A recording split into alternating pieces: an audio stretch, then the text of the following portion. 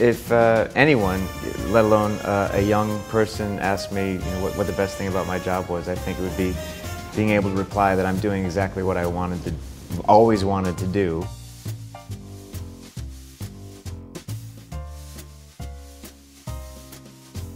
There's such a great conversation between the, the actors and the audience here. There's such enthusiasm for theatre here. Uh, the energy that comes off them is fantastic. And the energy that they demand from you and that you get back from them, it's, it's, that's what it is. I just kind of feel like the more people, the better, you know? It's just, it's just, it, it feeds you and it's, it's amazing. It's just an amazing community to like be a part of. And there's like a lot of um, excitement and energy, especially around this time of the year.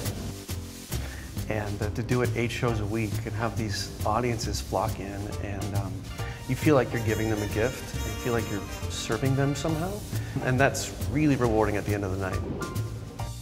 And for me, the, the coolest thing about working is, is working with, you know, the people that, that we get to work with. Like things like this are really great because we don't get to see each other No. all that often. So this is kind of a, a prize in itself. When they announced the Tony nominations, I, I didn't sleep the night before. I laid in bed for eight hours and stared at the ceiling. And luckily, they got our category out of the way right off the bat, and it was alphabetical, so I was put out of my misery pretty, pretty early, so I could spend the rest of the day just digging myself out from the avalanche of emails. My wife, Emily, called me up from London and ra- uh, uh, at about nine in the morning and told me, and I, I, I, was, I, was, I was thrilled. I was amazed, you know. I got up and watched it and um, sat in stunned silence for about 20 minutes. And my wife and I went to the park. We decided not to watch. Uh, I was pretty sick to my stomach over it. Um, so, and then her phone blew up, and she started crying and screaming, and um, and then I started jumping around the park like a friggin' idiot. And um, it was a pretty great morning.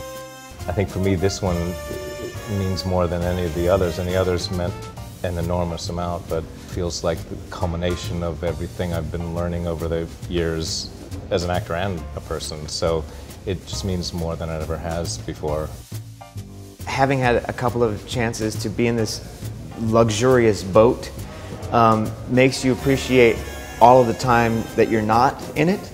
And so if it happens at all, it's fantastic. But when it happens again, it makes you feel like, wow, this is extraordinary because it's, it is like lightning striking twice. And it, it, it's, um, it's very, very exciting.